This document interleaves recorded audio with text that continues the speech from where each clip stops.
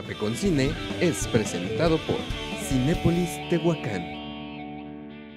Hola, bienvenidos de vuelta a Café con Cine. Mi nombre es Diana Mejía y en esta ocasión le traemos Tiempo Compartido de Sebastián Hoffman. Este es el segundo largometraje del joven director y este largometraje debutó de hecho en el Festival de Sundance en Estados Unidos. En dicho festival se llevó el premio a Mejor Guión y de igual forma dentro del público y la industria mexicana estuvo nominado a varios Arieles y de igual forma fue muy bien recibido. En general la crítica eh, para la película es bastante amplia, digámoslo así. Eh, tiene muchos matices que la convierten en una especie de sinergia entre cine comercial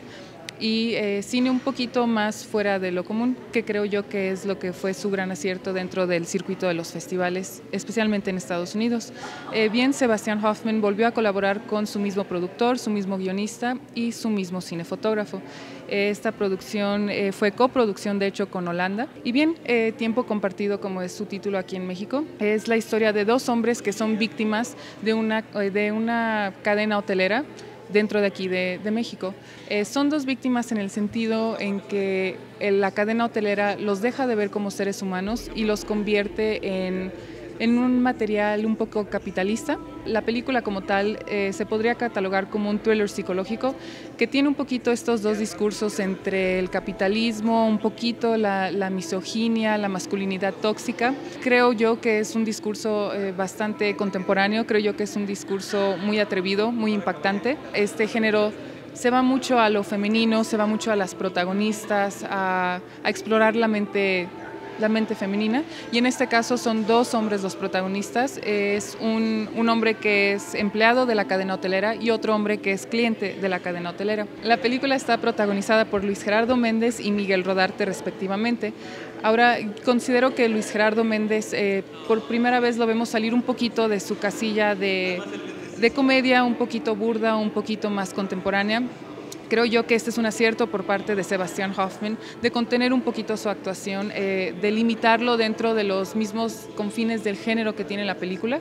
Creo que por fin no lo vemos tanto en su capacidad comédica, sino en una capacidad un poquito más dramática, un poquito más thriller. Creo que no se, se termina de lograr por las mismas naturaleza de las capacidades de Luis Gerardo Méndez. Creo que hay varias instancias en la película donde se siente que él está un poco más cómodo dentro del, del, género de comedia y él está un poco más cómodo expresándose eh, de forma comédica que indagando, atreverse a indagar en,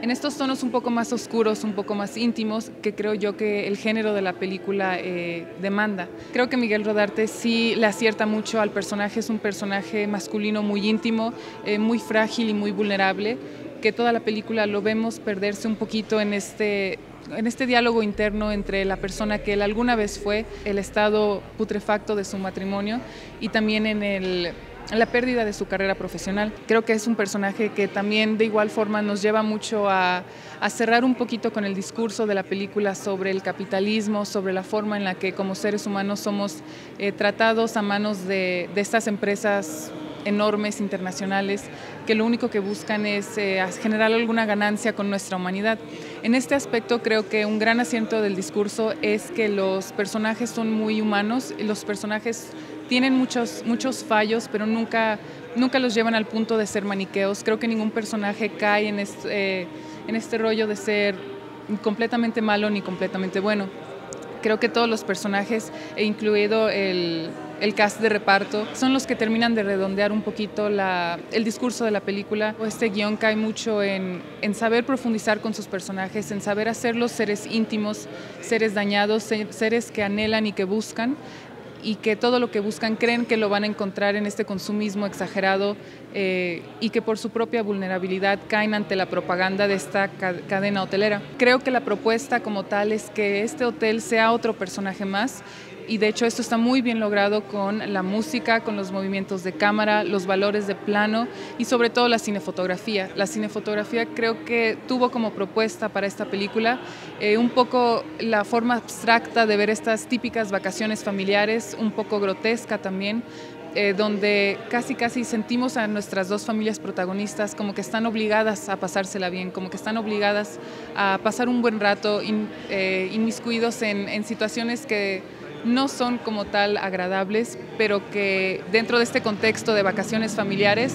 son cosas que tendríamos que aprender a disfrutar. En la forma en que encasillamos a estos personajes en el hotel, de cierta forma que parece, pareciera que no quisieran estar ahí o pareciera que están eh, casi casi enjaulados por el mismo hotel. Y de nuevo el hotel tiene como esta presencia un poquito sombría, tiene esta presencia un poquito de ser una máquina de, de felicidad. Creo que esto es un poquito un, un acercamiento estilo The Shining, de hacer que este este hotel y, el espacio donde se lleva la mayor parte de la acción sea también quien desarrolle la historia. Creo que hay un conflicto de géneros, un, conflicto de tonos a la hora de tratar el discurso del guion. Eh, creo que hay ciertas partes donde la levedad de la historia o del trauma de los personajes se pierde dentro de este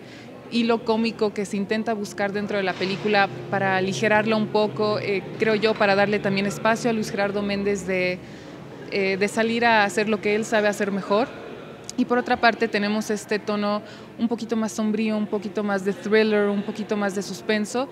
que siempre está en constante lucha con la comedia, entre que no sabemos si es un momento de risa, si es un momento eh, de un poquito más de gravedad.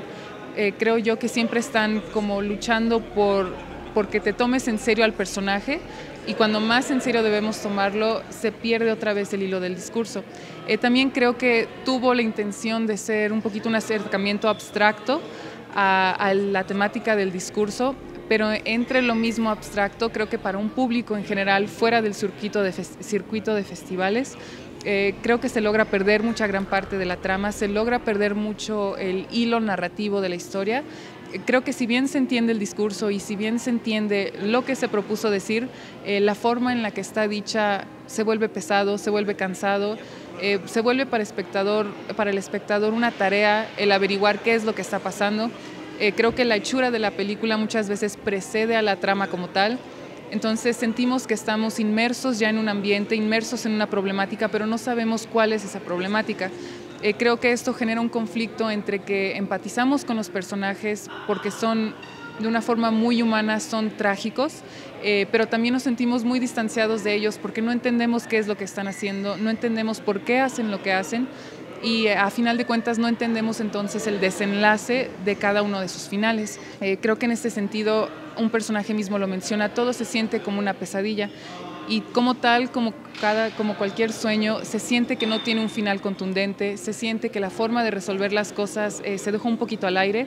eh, creo que para el golpe psicológico que quiso dar la película se quedó muy corta eh, al final, se quedó muy corta a la hora de cerrar la historia y de de verdad eh, cerrar el discurso que quiso dar. De cualquier forma, creo que es una película bastante recomendada, creo que es un paso en la dirección correcta para el cine mexicano. Creo que fue osado intentar hacer un thriller psicológico, sobre todo contemporáneo, con temas muy contemporáneos y con personajes muy contemporáneos. creo que si bien no es del todo comprensible, sin embargo nos podemos ver reflejados en los personajes de la película y creo que ahí está su verdadera ganancia, en comprender a estos personajes, en comprender su funcionamiento y su relación y a la vez nuestra relación eh, con el mundo actual capitalista, consumista. Muchas gracias por visitar Café con Cine, esperemos que les guste el video, esperemos que les guste la reseña y que nos vuelvan a visitar pronto.